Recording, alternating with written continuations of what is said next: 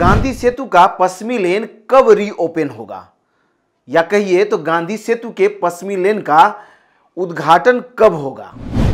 तो कोइलवर पुल पर कब हम जा आ पाएँगे? या कहिए तो उसका इनोग्रेशन कब होगा? वहीं कोसी महासेतु पर कब से ट्रेन आम लोगों के लिए चलने लगेगी? इन सभी सवालों का हम इस वीडियो में एक एक करके आपको जवाब देने जा रहे हैं। बस कुछ मिनट के इस वीडियो में आप हमारे साथ बने रहिए। सबसे पहले आपको बता दें कि अब भागलपुर ज़िले में एक और गंगा पुल का जो है ना अधिसूचना जारी हुआ या कहिए तो उसकी मंजूरी मिली है तो साहिबगंज और मनिहारी के बीच बनने वाले गंगा पुल का जो है अधिसूचना जारी हो गया है। उसका काम शुरू होने वाला है, तीन वर्षों में उसका काम पूरा होगा, ऐसा सरकार का कहना है या ऐसा अनुमानित है। पूरा कब होगा ये तो आने वाला वक्त जैसा कि पिछले वीडियो में हमने बताया है आपको कि गंगा नदी पर कितने पुल बन रहे हैं, जिसमें कई लोग कह रहे हैं कि कई पुलों को आपने छोड़ दिया है। जैसे बक्सर का पुल है तो उसको हमने इसलिए लिए छोड़ा कि उसके दूसरे तरफ़ में उत्तर प्रदेश है और बिहार में सीधा सीधा लगा हुआ जितने पुल हैं, उन सभी को हमने इसमें लिया है। जिसमें से जो जो दो तीन पुलें छूटा है, उसके बारे में मैं बता दे रहा हूँ आपको, शेरपुर और दिघवाड़ा के बीच में। जो दीघा पुल के उस तरफ़ में एक और पुल बनेगा, जो पटना रिंग रोड का हिस्सा है, वो छूटा है क्योंकि उसकी अधिसूचना हमने कहीं देखा नहीं है अभी तक में।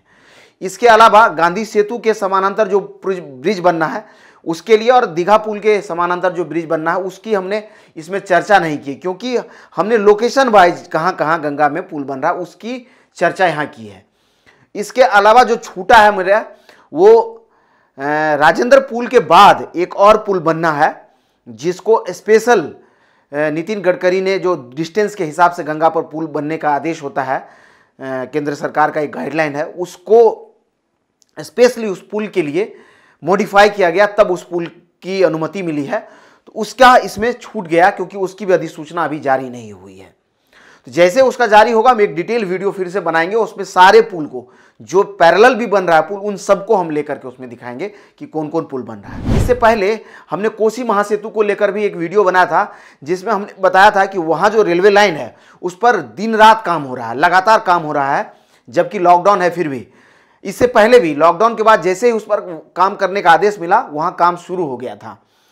तो उस पुल पर इसलिए काम किया जा रहा है कि 28 तारीख को उस पर सीआरएस निरीक्षण होगा और 8 अगस्त को पीएम मोदी ने समय दे दिया है जैसा रेलवे का कहना है और जैसा वहाँ सूचना हमें मिला है कि 8 अगस्त को पीएम मोदी वीडियो कॉन्फ्रेंसिंग के ज़रिए इस महासेतु का कोसी महासेतु का इनोग्रेशन करेंगे। कितना कितना कितना काम हुआ है? काम तो लगभग सभी तो हो ही चुका है। आठ अगस्त से गाड़ी इस दौड़ेगी। यानी आठ अगस्त से गाड़ी इस पर चलने लगेगी। खबर यह है कि 8 अगस्त को पीएम मोदी वीडियो कॉन्फ्रेंसिंग के ज़रिए इसका इनोग्रेशन करेंगे, उसके बाद इस पर ट्रेन चलने लगेगी।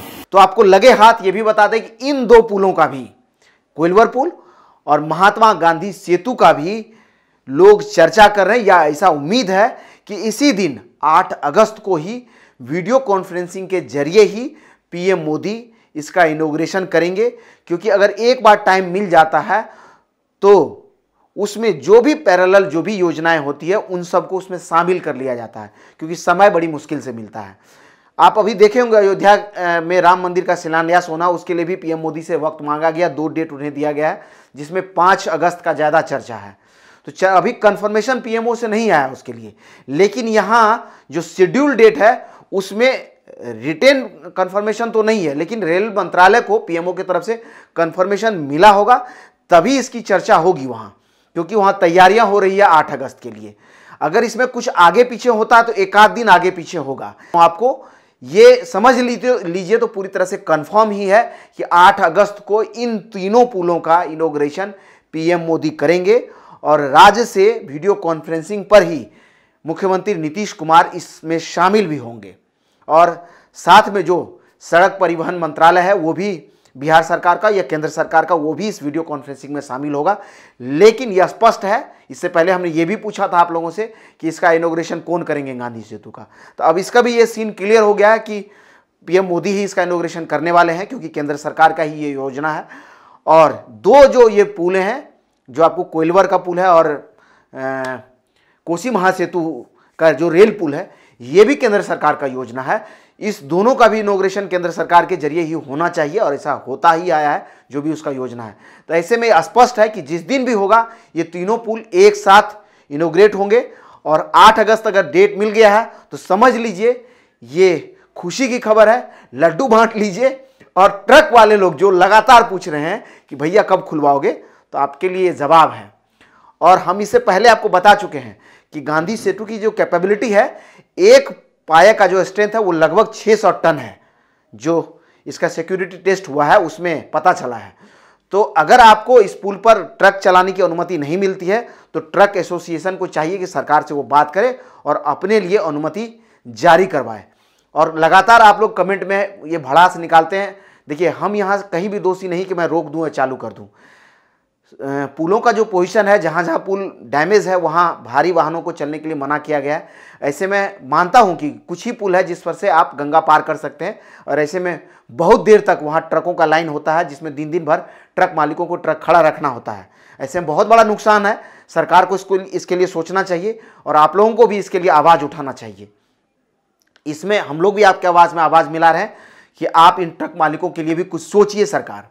दूसरा, गांधी सेतु को लेकर के एक बड़ा अभियान चल रहा है, जिसका नाम है गांधी सेतु बचाओ। इसका एक डिटेल वीडियो आप नीचे हमारे वीडियो सेक्शन में जाएँगे तो आपको मिल जाएगा। इसका डॉक्टर मृणाल सूत्रधार है और वो कहते हैं कि जब तक गांधी सेतु के पैरेलल एक और ब्रिज ना बन जाए, तब तक पूर्वी लेन को नहीं तोड़ा जाए। दोनों ही लेन को चलने के लिए या आवागमन के लिए खुला रखा जाए, ताकि इस रोड पर जो लोग फंसते हैं या जो गाड़ियाँ फंसती है, उसमें जो फ्यूल जलता है, वो भी सरकार का नुकसान है। जो लोग फंसते हैं, उसमें उन लोगों का नुकसान है, सरकार के मैन पावर का नुकसान है। साथ ही एंबुलेंस में जो मरीज़ फंस जाता है, वो दम तोड़ देता है। एक आंकड़ा बताता है कि गांधी सेतु पर प्रतिदिन पाँच लाख लोग सफ़र करते हैं तो वहीं पूरे महीने में ये आंकड़ा डेढ़ करोड़ लोगों का होता है। तो ऐसे में अगर एक घंटे के टाइम को अगर आप कैलकुलेट करें एक घंटे के मजदूरी के हिसाब से तो पूरे साल भर में एक गांधी सेतु बनाया जा सकता है। ऐसा डॉक्टर मीनाल कहते हैं। इसलिए हम आप तमाम लोगों को कहेंगे कि जो भी लोग इस वीडियो को देख रहे हैं, आप गांधी सेतु बचाओ अभियान में जाकर के अपने आप को जोड़ें या फिर आप जिस भी प्लेटफॉर्म पर जाते हैं, हैशटैग डाल करके हैशटैग डालिए जो ऐसा क्रॉस का साइन होता है हैशटैग डाल करके, जहाँ भी पोस्ट डालते हैं, उसमें गांधी सेतु बचाओ लिख करके अपनी बात को सरकार के लिए रखें, चाहे ट्विटर हो फेसबुक हो इंस्टाग्राम हो, जो भी सोशल प्लेटफॉर्म आप यूज़ करते हैं। और इस वीडियो को आप उन सभी प्लेटफॉर्म पर शेयर करें।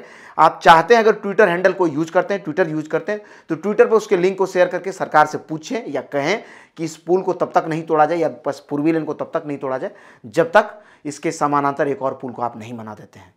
तभी उत्तर बिहार और दक्षिण बिहार के लोगों को जो आर पार करते हैं गांधी सेतु को या गंगा को यहाँ पर पटना के सामने, उसके लिए थोड़ा सा आराम होगा। इसी तरह के और वीडियोज़ के लिए आप चाहें तो यूट्यूब पर हमारे साथ बने रह सकते हैं। वहीं अगर आप हमें फेसबुक पर देखते हैं तो हमारे इस पेज को लाइक करना ना भूलें। धन्यवाद।